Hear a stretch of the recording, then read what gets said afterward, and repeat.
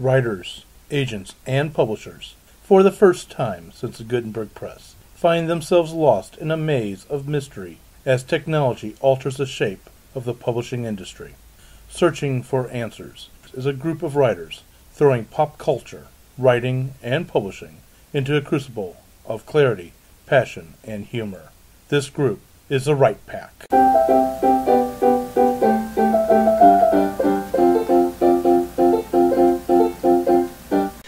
I am David Alan Lucas, your host for Write Pack Radio.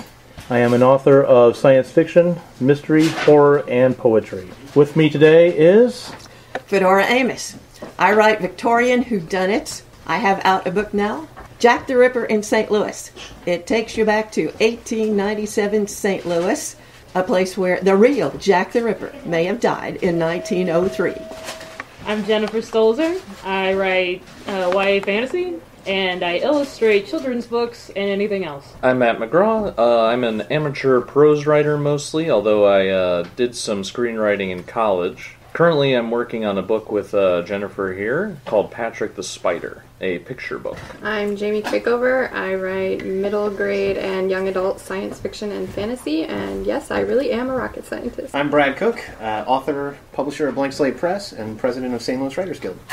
I'm Melanie Koleini. I write uh, science fiction and fantasy, and for some reason, I just started a cookbook. and uh, I also have a day job uh, working as a research scientist. Hi, I'm Kathleen Kayembe. I write under a pen name, LGBT fiction, and paranormal romance, and urban fantasy, and I think magic is the coolest thing ever. And speaking of magic, today's topic is the muse. Yes, that insane thing that seems to drive us, all of us writers, completely off the edge. It has known to drive some writers to drink, other ones, we just go straight to the page and start writing. I don't know about anybody else here at the Write Pack, but I know when I get approached, hey, where do you get your ideas from? My real response, though I don't say it, is I have no clue where a lot of these things come from. In ancient days, the ancient Greeks and the ancient Romans believed that the muse was actually an entity or a deity unto itself that talked to the artist. And what over the centuries that has changed. Where do you get your muses from? Oh, um, I was going to say, with relation to the Greeks and Romans, Elizabeth Gilbert has a TED talk about creativity that will tell you more about the things that you just outlined. Excellent. Well, you know, Dave, when you said the word muse, I said to myself, I don't have a muse. Everything comes from the old being right up here. But then, you know, I thought about it, and something told me, yeah, maybe you do have a muse somewhere.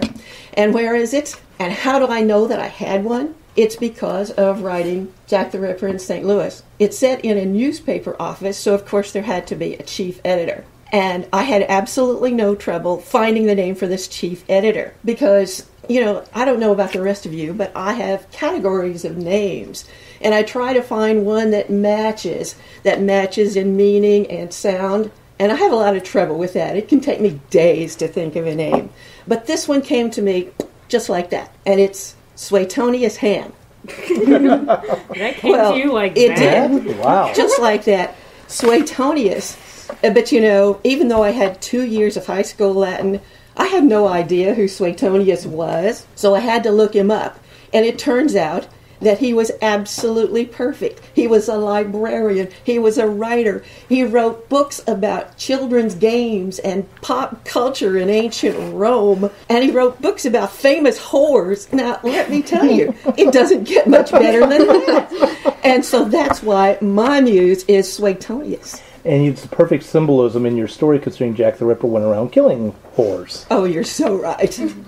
So have you looked him up and do you have a library of Suetonius works now?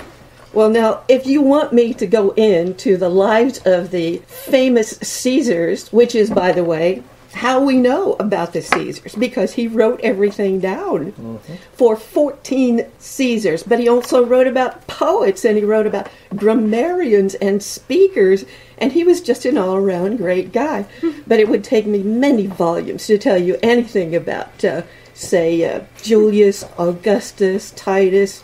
Nero and Caligula, I could go on for hours about just those two. They were kind of crazy. Kinda crazy? Kinda, Oh my god. Are God. we all kind of crazy? Yeah, I don't even we are. listen to the voices in our head. we don't burn down cities and play violins, though. We just write about all the people burning in the cities. I've burned down do cities that? before.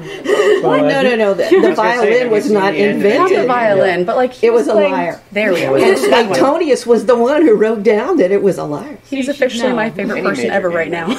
And just oh, while we're talking about Suetonius, before we get back to the Muse, I don't know if anyone has ever read Robert Graves' um, "I Claudius and Claudius the God," No. but a lot Based of on oh, Suetonius. Yes. Okay, Suetonius is still a super rad name. it is. I love it. Super rad. Super rad. Uh, Hey, do I get a turn? no. Go Are we it. going around? All right. Where- Uh, What? You're just gonna take it out of my hand? I didn't go think for it. it. Well, just go. go. Yeah, okay, fine. All right. Well, my bring my own muse. mic. I tend to craft my own muses when I'm writing a story. I I usually start with the ending. Like I, I paint a scene, and in that scene, I think about who's in there and how they're acting, and the rest of the book is kind of written to make that scene like powerful. So like my main character is often my muse because I want to make sure that her his or her conclusion is going to be like punch. Or in my current novel, the supporting character is amused because he is my lead character's motivation. So they come to life inside me and they drive me to continue. It's Do you have interesting that trouble you, with the names? I don't have trouble with the names, no, they're all puns. Thank you though. I know who to come to since you find these gems of names. you, you try you, you do the exact opposite. You know, you start with the ending scene. My problem with a lot of my stories is that I kind of write this fiction mm-hmm. like it's a history. So the idea is develop their entire lives and then tell a portion of it.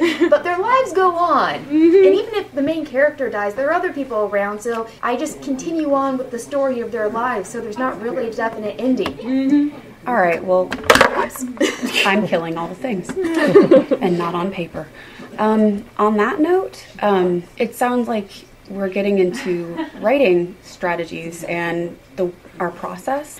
And I wanted to know if you guys are separating the muse from inspiration, because for me, often something will inspire me to start writing, but it won't necessarily be what keeps me writing later. It might be cut out entirely. Well, let me throw right in there. Since thank you, you actually gave me a perfect segue to describe how my muse works. And the way reason I did that is my muse I figured out the only the other day how this thing actually worked. And the only way to really explain it, I always thought, eh, maybe I'm just a little. I'm always trying to be too precise with what I'm doing and so forth. No, I've actually got two aspects. And if you've ever seen the movie What About Bob, you will understand how my muse works. And if you have not seen it, 1989, go look it up. Richard Dreyfuss and Bill, Bill Murray. Bill Murray is a character who has every psychosis possible. And Richard Dreyfuss is a psychologist who's going to be interviewed by um, Good Morning America. And he's very precise. He's got everything in order, clean house type thing. Well, the clean house type thing is me. And my muse turns out to be Bill Murray, who just jumps in there, starts wearing the guy's pajamas, sleeping, not sexually, but sleeping with the family. He gets it, he invites himself. And we went Not there. sexually. We weren't gonna do that before. Yeah. but He doesn't- we don't have yeah. Bob doesn't see people like that. Yeah, Bob doesn't see people like that. He keeps his pajamas on. Yeah, he keeps his pajamas on. And Bill, uh, sorry, Richard Dreyfuss's character literally ties him up, puts, if I remember right, gasoline, I think maybe even dynamite around him to knock the character off, and the char- the the explosion does not happen. I'm I'm sorry, spoiler, alert Spoiler alert, alert, jeez. but Bill Murray believes that he's been cured of all his psychosis by death therapy. This is the way my muse and I work. Complete insanity. Yeah, I would I would say that too, but in response to Kathleen's question, um, it all kind of comes at me like a Mack truck all at once.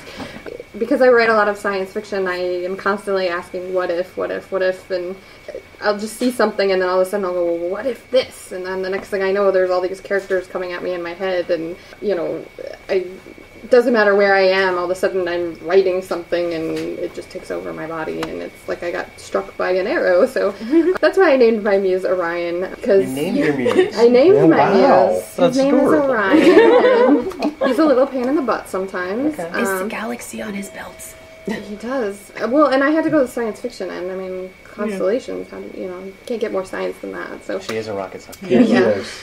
so he shoots me with arrows, and oftentimes at the most inconvenient possible time, like when I'm driving, when I'm in the shower, any place you can't have a pencil or a computer. So yeah, hmm. Yeah. I Actually- you tend to do that. I feel kind of a I feel kind of a kinship with that. Although uh, how I think of it isn't quite as pretty. Um, I always kind of uh, likened it to like um, vomiting almost. Wow. Like Okay. how I look at it is first I have to go around and I have to eat up like uh, ideas from various areas that aren't necessarily connected. Okay. I follow, And I follow. you have to I go around, eat them, and they go down, and they digest for a while, and they sort of turn to a nice little slurry mess together. And then suddenly, you know, I'll just be sitting around with a blank page in front of me, just.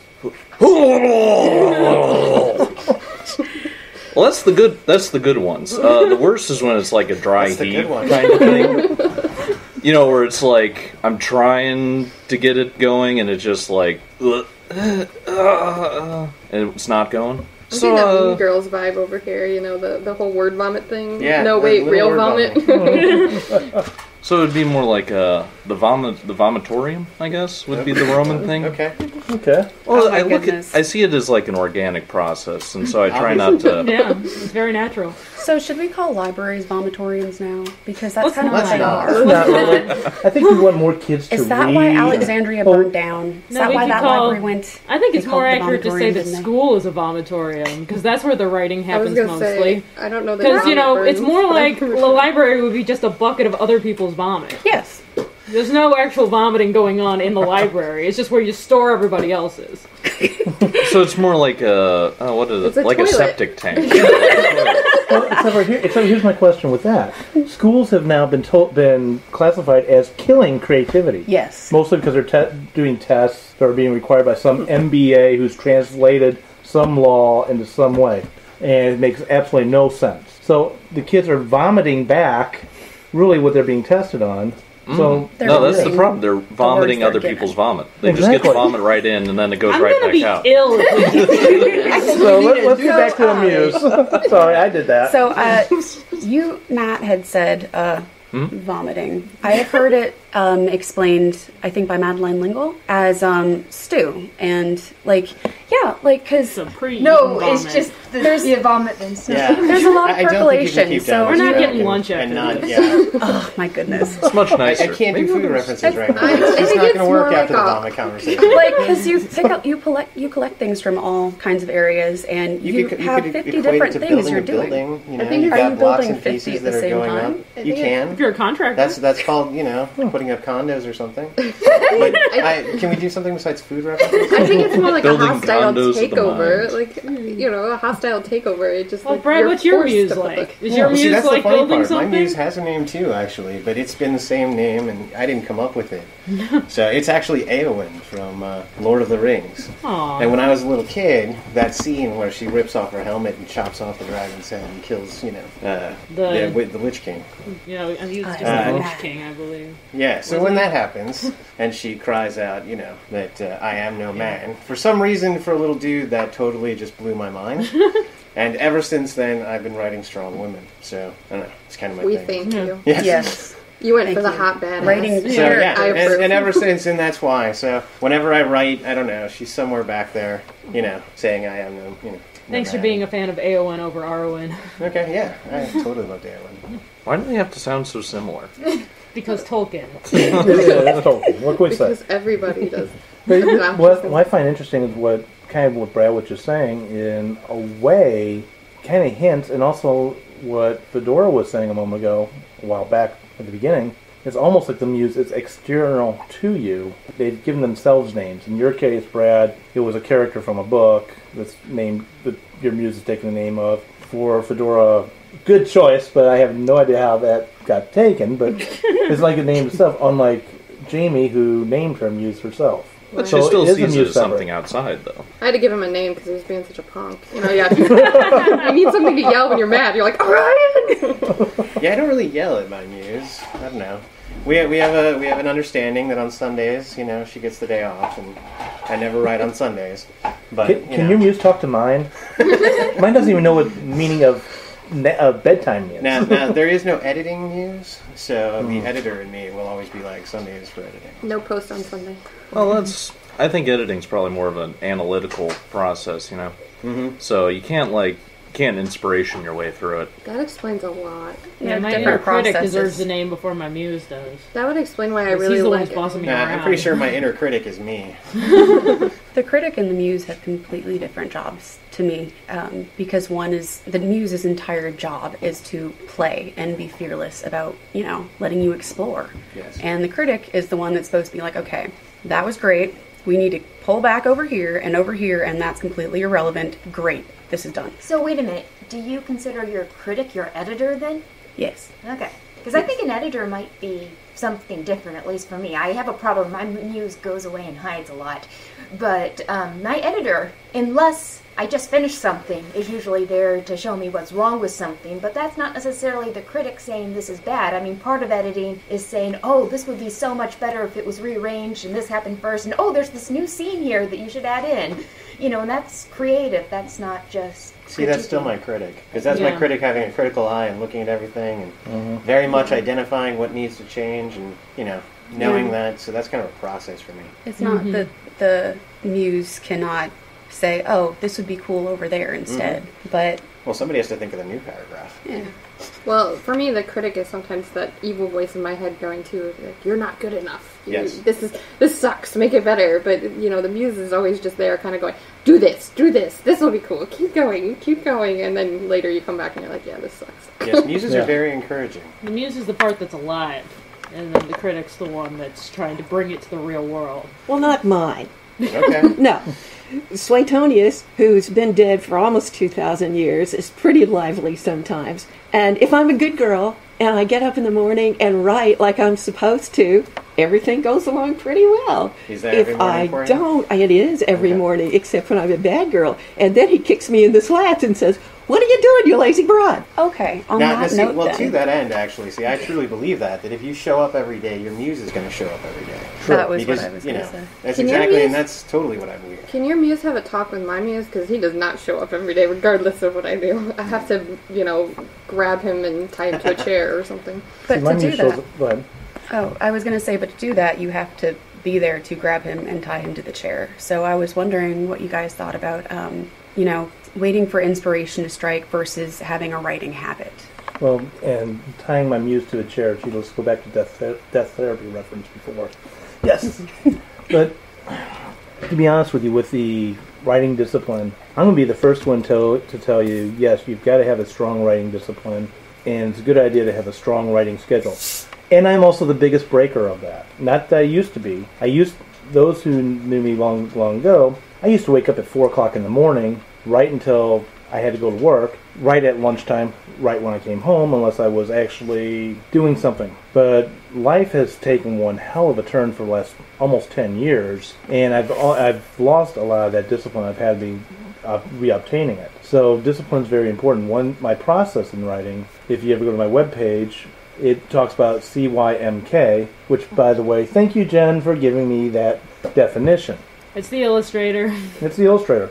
What is CYMK? C okay, CYMK is characters and storyboarding. Then um, Y is the screenplay, Like, which I'm just really doing mostly dialogue and with little, very little description, just enough to tell me what's happening. Then I then I really work on that for a long time. Then the M is the manuscript, and the K is the final book.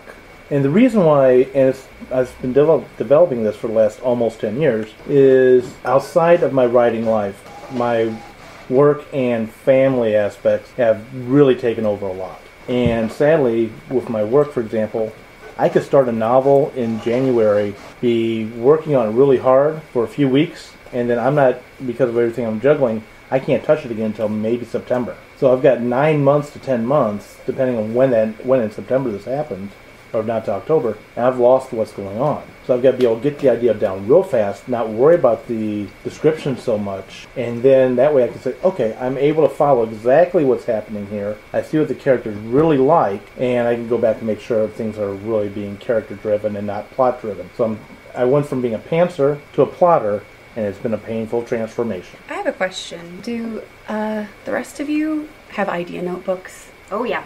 Mm, I have an ID file, not necessarily a notebook. Well, a Yeah. notebook, whatever. Yeah. it's just a Word document. but- Yeah. I have that, and I have uh, draft emails. I have like 92 draft emails right now in my Gmail. You because did that's that where I just that's where I just dump ideas, and then when I, you know, after a while, I dump them into a Word document. I need to remember to do that because I do voice memos in the car because I hear writing while driving is not safe. so um, I'll record a voice memo and then email it to myself, and I then just leave it and don't pick it back up. Well, Jenna, I know you have like a that journal. Do you write ideas in there? I write everything in there. All the journal is is for catching stuff that doesn't fit in my head anymore. So I write in that. I have a ton. I have just stacks of uh, college ruled notebooks from school that only got filled up a third of the way, and now I just I write in it with markers. Just constant stream of consciousness, plot, thoughts, ideas, characters, lines characters could say, uh, charts on whether or not I should actually turn that man into a woman and vice versa, that kind of stuff. So I don't have. It's not like it's a book that's just for ideas. It's whatever is in arm's reach. So I make sure I always have something in arm's reach just in case I need it. And Hmm. I know somebody who does similar to what you do, Kathleen, except for she actually records entire manuscripts while she's driving. Wow. I couldn't do that. Yeah, I, I, crashed. I've, I've attempted. I attempted that. That lasts a good maybe minute. However long it takes for me to get from my driveway down to the first stop Oh, sign. and No. if you have really good diction and you need really good diction, I actually can use this software and I don't have good enough diction to that. You can actually plug in your recording to voice recognition software and have it transcribe it for you. And it gets it about 95% right. How far are you people problem is driving that that you practice 5%. this? I got, I got a good I 23 was minute gonna drive say to if. I did this and let the muse take over, I'd be I'd be in a car accident every other Yeah. day. Yeah, no because kidding. yeah. Now, to be honest, I actually have a file on my computer that I do, and I do it for like I'll come up with a nice story idea, and I'll just create a file for it, and I'll throw a bunch of ideas on it. It may get turned into something, it may not. I have a ton of them sitting on my computer. I also have uh, several notebooks, just kind of like Jen does, and that's filled with all the ideas from when I was, gosh, ten years old on up. Uh, and then I also have like for everything that I do. I have like you know notes jotted down on. Uh, I'm really bad about post-it notes, so and, and then I fold over the sticky part, so then it just turns into this little square piece of paper that can go anywhere. And I have literally a shoebox full of these, wow. um, and they just they have random ideas thrown down on them. It might even be some random fact I heard on TV that would be really good in a book. I need to stick all of mine in like a box. Thank you for Boxes that. help. I don't you- like then- boxes. Lovely. And then you A can have like Notebooks a are better. then you can I have like a random. that need to go in boxes. Then when you want to write something new, you can just have a. I'm going to pull something random out of The of random hat. story generator. I have. I will admit to have done doing that for uh, short stories before. That's a good idea. I'm more like Jamie in the sense of I will send emails to myself, and I like the emails because what I do is where I get some of my story ideas is straight out of newspapers, or I should say, off of the websites for various news agencies, BBC, whatever, CNN, or some science ones like Red Orbit. And it's like, oh, this would be a good story idea. And and I'll probably look at it later and go, what the hell was I thinking? but I'll say, okay, here's some of the use of the story. I'll jot some down in the email, and then I'll start pasting all the different links, and that way I can look at it later. So it's like good though that you have like you feel like it's good to have that distance in between when you have it and then uh, later when you come back to it and look at it again. Sometimes, sometimes, sometimes it's good just to get straight on the page when you're thinking about it, which unfortunately doesn't happen in my life too often. Um, a lot of times, though, I like to think of it. I'm tossing in back of my head like a percolator and letting my. If you've ever seen a percolator work, I mean the old style, not the modern day coffee pots, but the old style where the water shoots up, goes through the beans, goes back up, goes through the beans, and so Maxwell forth. House. Maxwell House, and just let let it keep going and let it keep getting stronger and stronger of a story idea. Yeah, I, I, I feel like a lot of times uh, uh, the longer I hold on to an idea, the more like stuff grows onto it, and then like it'll become it's more interesting. It's like it's more complicated. It's got it's better thought out. You know, it just grows over time. But there's also like you have to put it down at some point. You know. No, Yeah. you see, you're t- putting it down all the way along there, and then you go back, you know, two years later, and you're like this is what I started with. Okay, this isn't Oh, yeah. recognizable to what I have now, but I think your I think your subconscious needs time to kind of stew on it, even if you're not actively thinking about it. It's kind of there in the background. Stew. Yes. dude. yes. Delicious There was- stew. I went. There's there. a science fiction. I'm not science fiction. There's a mystery thriller writers conference that goes around, and it's also for fans. It's, I call it the Comic Con version for mystery and thrillers, but they don't dress up. Um, it's called BoucherCon. There's no fun in that. Uh, Really? Anyway, one of them. This is a actually, that's one of the ways I met Fedora a while back. Um, and when they had it here in, 2000, in 2011 in St. Louis, it was an author talking about one of his other authors, and I'm trying to remember who the heck was in the conversation. But they were saying that he always knew when he was working on a novel because that man would do nothing but watch Jeopardy the entire time. he's watching Jeopardy, and in the back of his head, while he's not writing physically, in the back of his head, the story is going you on. And he's getting down. He's getting down the ideas before he sits down and types it. Well, I would say there's very little time that I am not thinking about my stories. That's true. I mean, any idea that I have, it'll be a month before I even start writing. I have to work through everything. I've got to think about all the characters I want to do. I've got to put it all into my head, and then I've got to kind of figure it all out. But even for the three months that I write the book, or the six to nine months after that, that I'm really hardcore editing it, I, I to be honest, I don't think. Uh, I, I think about this, that story constantly, and then as a kind of favor to myself, I'll start thinking about other stuff, and that usually turns into my next book. I don't know if you guys are similar to how I do things, but I have like a million and one ideas, and I would say ninety percent of them are like one or two lines of, well, what what if this happened, or a world where this is the rule, and then I would say like another eight to nine percent of them maybe come to fruition, you know, somewhere between one and ten pages of stuff where it's either characters or actual prose, and then I would say like one percent or less actually becomes something that's worth continuing on to a full novel. So I guess going back to a point you made, David, w- earlier was you know where do you get your ideas? Well, where do I not get my ideas? I get them from everywhere, but the ma- the difference is most of them don't come to fruition. That's So wait, if someone told you I have this great idea for a story, you write it and we'll split everything 50-50. Oh God, Yeah, yeah. that's So actually wait, happened. you mean the ideas are not like the hard part? The actual writing is the hard part? Yeah. You have to work with them? I Kathleen, hate, I love your sarcasm. I hate the blank page. Like seriously, I would much rather tear it apart and edit. Like See, there's there's I like a blank editing. page is filled with possibilities, though. I can do anything on a blank. Yeah, I'm with, I'm with you on that. I Well, like I looking like at editing it, because thinking. then you can make it better. And I like editing too, Mm-hmm. but there, I, I it, I've never been afraid of the blank page. There's just too much fun to put down on it. Well, And I have to say too, like you were talking about, I, I actually, and like you were saying, I like uh, I find characters 1st Mm-hmm. So I generally think of my character, and then I start thinking about what I wa- the horrible things I want to do to them. yeah, because when you get to play the evil god, um, something nice kind that of I want to do for them. It's kind of a difference in how you uh, muse, though. Is that like you're starting with characters and you start with like a question. yeah, I start with more plot, and somehow characters start forming into that world. See, I, I start with the world. It, in fact, that's world building is my favorite part of it, and then I try and think of characters that become more and more real. So, real people, if they grew up in this world, what would they be like? And then what would their problems be? And then I have to throw something in. And sometimes the plot comes up real easily, and sometimes it's okay. I have all these characters. I have this world. What happens to them? The mice quotient. What? There's one we're missing. I don't remember which one it is. Um, Orson Scott Card's book on um, how to write science fiction and fantasy. He talks about four different ways that stories get started, and you guys have named three of the four, and I'm trying to remember what the last one was. So excuse me, I'm going to look That's it up. because we're awesome. That's what Google was invented for. Mm, well, I don't know that I have the fourth way that Mr. Card would have. However, I have a word that none of you have suggested yet. It is that somehow in my twisted brain comes into my twisted brain the black moment. And that's why I write mystery. Okay. Because there is a black moment that I have to somehow get to. And that's the challenge to me. I can see that. That's a fun way to write. Yeah. You're writing to the moment, and Yeah. you know, yeah, yeah, that's a good way.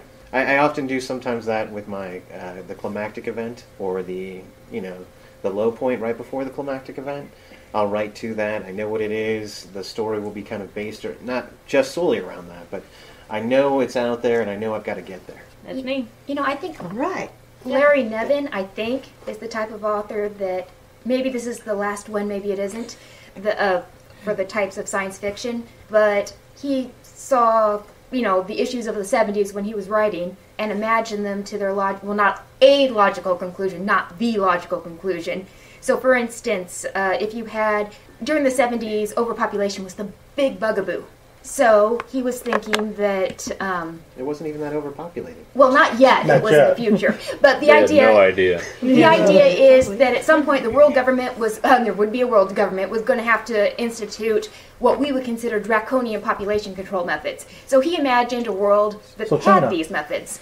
Well, yeah, only they, in one of his books they were actually hunting down and killing pregnant women.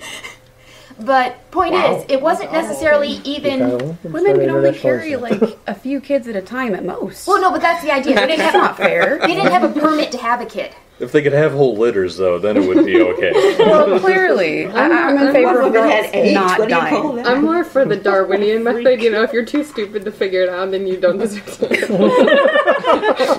See, I So you're go more in for favor that, of, like, except if death anyone's traps seen the first everywhere. 20 minutes of Idiocracy, that's not the way it works. Oh, So, um, unfortunately, the, the, the less brilliant people are going to Yeah, probably mate the reproducing most. is uh, one of It's those already carnal happening. basic things that people do even without instruction. well, yeah, I mean, like, you know, there's cells all over the planet that don't even have brains, and they can reproduce. And all I'm going to say to this is it's already happening. Hey, as um, a certain mime I've seen, I know uh, Jamie saw as well. Science fiction is for those. I'm sorry. Reality shows are for those who can't handle science fiction.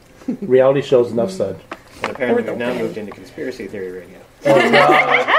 We have About the kind of MICE gone off quotient. topic here. about the MICE quotient, you actually did, Fedora, hit the last one. Yes, the four um, milieu or location, um, which was yours.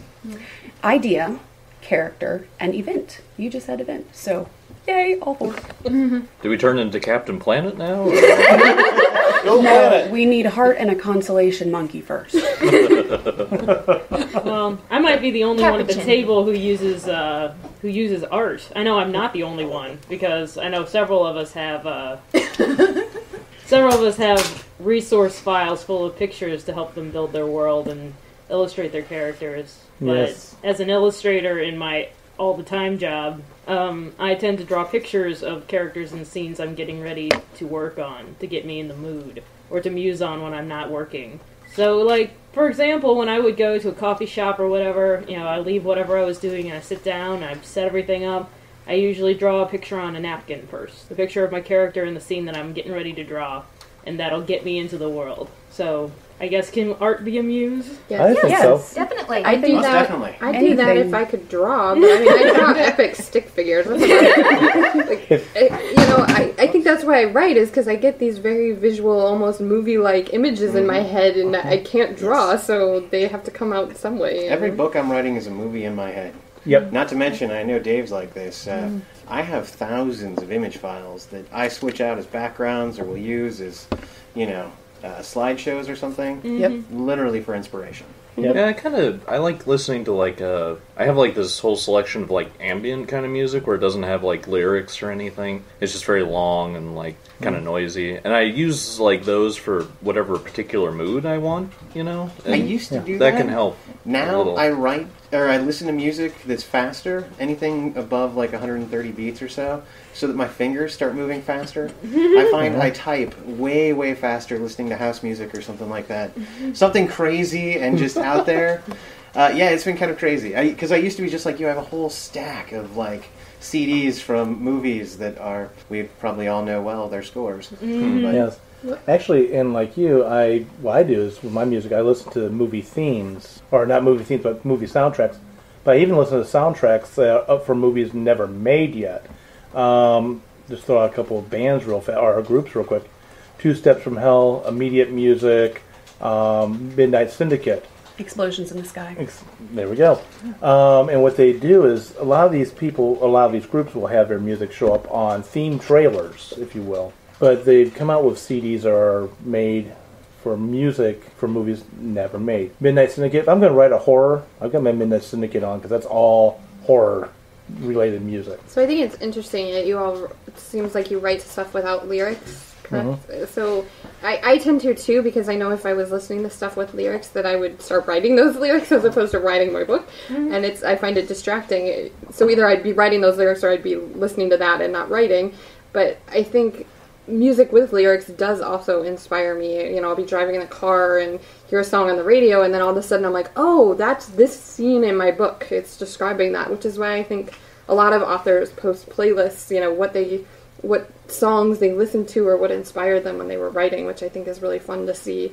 You know what an author used as kind of as their muse almost when they were writing and then you can go back and kind of see if you can figure out what scene or what part of the book fits with what piece of music that they picked. See, I listen to audiobooks that I've already listened to before. Hmm. So I it's the voices in the background. The soothing sound of a human voice. I guess so. these are all the white noises that everyone Yeah. uses, it sounds like, when they're writing so that they can tune things out that they're not trying to focus on, like, not the story. You know, And I think that's kind of it. The, if the audiobook is there, if I lose my train of thought, I listen to the audiobook instead of my mind going off into a third story, you know, mm-hmm. that I'm making up in my head. What is more perfect white noise than white noise? I mean, just the noise of the house creaking and mm-hmm. ca- traffic on the street outside. I can't abide to have music on because I get into it, I start dancing around and totally forget what I'm writing. My brain was built for distractibility. Yeah. I need something that I'm like, oh, I'm focused on this thing, so I don't have to pay attention to anything else. I also can't write in front of uh, windows. Can never write in front of a window. I stare out the window too much. See, I can't write at home at all. There, there's no chance. And that's why you're at Kaldi's all the That's time. why, that's Aldi's why I go a to a coffee fabulous shop. place. Yeah, Actually, I write multiple best, coffee shops. I write best Okay. in coffee shops and in airports. I actually Yes. write best at And on airplanes and trains. I actually write best at home, but I think it's because I live alone and I can, Yeah. other than my dog, I can control the noise factor. This is why I like writing best after midnight. Yeah, when I write at home, distractions. when I attempt to write at home, since I take care of an elderly parent, half my brain is listening for them to mm-hmm. say God knows what. And so my mind is really distracted in a bad way. Jamie, you had mentioned um, ideas in the car and lyrics and everything. Um, and Jen, you had mentioned being inspired by art. Um, and I think that brings me back to the whole uh, inspiration versus the muse as something external. Um, it seems like people's muses are changing, but I'm not sure if those are necessarily the muse because Jamie, yours is named. So, like, how does the inspiration work with the muse? And do you like? I've heard some people have different ones. I think it comes hand in hand. I mean, I think, you know, you get the inspiration and then it just, I don't know, it kind of morphs into and becomes this one giant glob of junk that just kind of, like I said, it's like a hostile takeover. It just, hmm. it becomes this giant glob that is rooted in your brain and it just keeps expanding and, oh, now we're going to do this and now we're going to do this and, oh, you're going to Sounds write like a this. possible and, alien movie. You know, I think I need to uh, show the muse I don't care about it sometimes. So the reason why I started the cookbook is because the fantasy novel wasn't going well. The reason why I started the fantasy novel is because I needed to take a break from the sci-fi novel. But the point is, when I started on the cooking book, then all of a sudden I was back to writing the fantasy novel. Do you think part of that is because maybe your your mind was too much in one direction and you needed Yeah. to play more?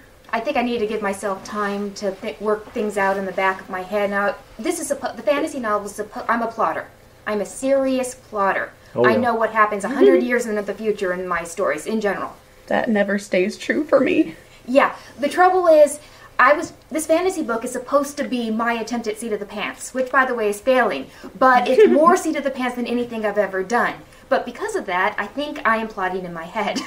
So I think I need a break every so often so I can figure out what's supposed to be happening.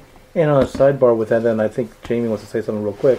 One thing, um, okay, she shakes her head no. Um, the one thing's off of the muse for a second. I'm going to sidebar to this for just a second. Oh my goodness. A lot, I know, amazing how that happens. Anyway, Weren't we on a side? How many sidebars are we on?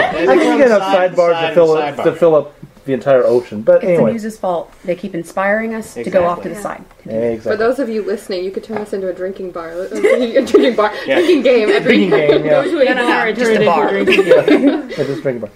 But I don't. I can. I know I can speak for a lot of us. We get approached by brand new writers, and they say, "I've written a book, and I want to get it done."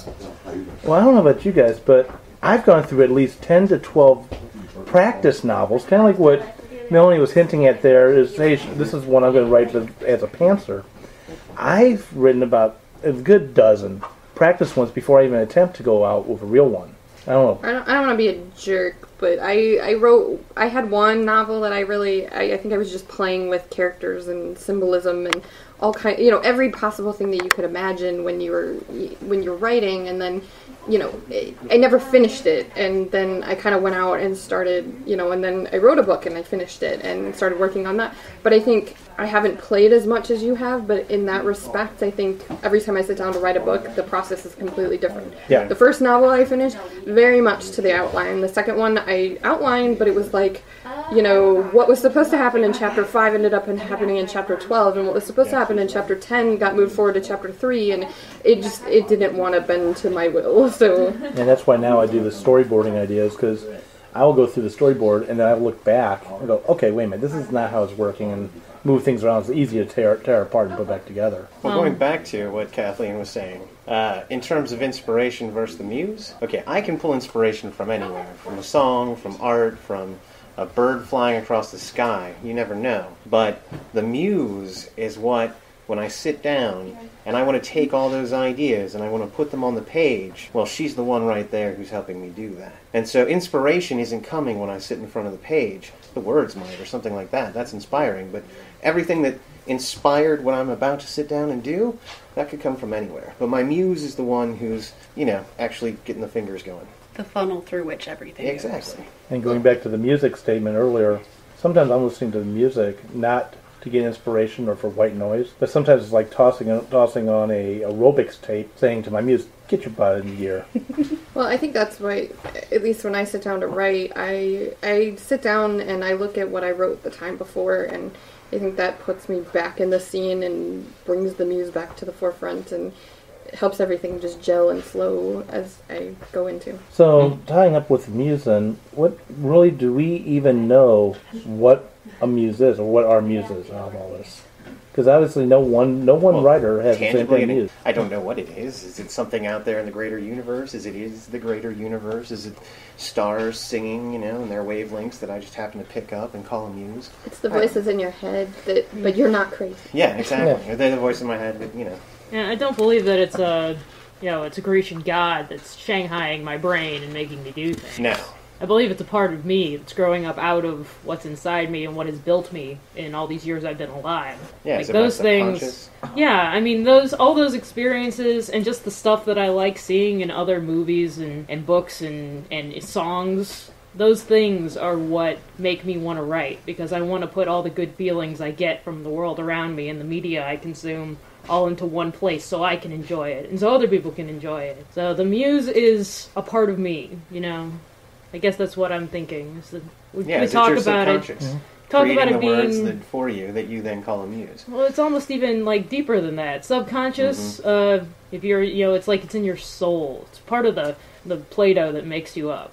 It, it- yeah, I mean, it's in your soul, it's in your head, it's in your emotions, it's in so many different pieces of you. Well, um, it is pieces of you, but I'm curious about um, how much we externalize, going back to the, the Greeks and the Romans, and how they saw the muse as something outside of themselves, through which, well, the muse was outside of themselves and would use them as a conduit to tell whatever story it was. Well, Does I, it help to externalize for you guys, or Yeah, I uh. I kind of liked looking at it that way, just because uh, it makes the the stories and ideas that come to you feel a little more sacred. I think uh, how we approach it, how we tend to approach it as like writing people, is analytically, and uh, we tend to look at the mechanics and all that. But that's not how people read it. How people read it is holistically, and uh, I think it helps to kind of keep that perspective of the idea of the story as like a sacred whole, as some kind of soul to it. So you don't r- mess mess with it too much with the analysis, with the reason. See, I don't like the idea of considering writing sacred because you're not supposed to, you know, tear up and rewrite sacred w- works here. Well, yeah, but I mean, just to I keep know. the I'm heart still of it. thinking that you're you trying know, to get the sacred idea to be more Back in the day, accurate they to were- what it should be, though. getting a new stone and starting again. I think I'm going to let Fedora bring us to an end, then I'm going to make one statement that I think takes what you guys are saying and apply it. Well, I would just like to say that writing is an act of supreme arrogance. And we have the insanity. idea mm-hmm. that we can write something that other people would not only want to read, but would somehow benefit from or enjoy. That is an act of supreme arrogance. And Oh, for yes. me, I think the muse gives me permission to be arrogant. I like that. I like that idea. Gives you permission to have a voice. Going back with what Matt was kind of indicating, and we've all said this, you know, you've got the mechanics of writing, and you've got the muse. I can sit down, as all of us, all of us can, and take a bunch of students and say, this is how you put together a story. We can teach the mechanics of the storytelling, but it's that organic aspect of the muse that's within inside of us that actually breathes the life of the story into it. And with that, I'm going to close our first our first episode of the Write Pack. No problem. Yay! Come back next week as we continue more talks on writing. Theme songs for Write Pack Radio were written and performed by Meredith Tate. All copyrights remain with her. Write Pack Radio would like to thank STL Books for allowing us to record in their office. STL Books is a online bookstore specializing in new and used high quality literature, children's books, and books written by or about St. Louis. Please visit them online at www.stlbooks.com or find their store on the amazon.com website.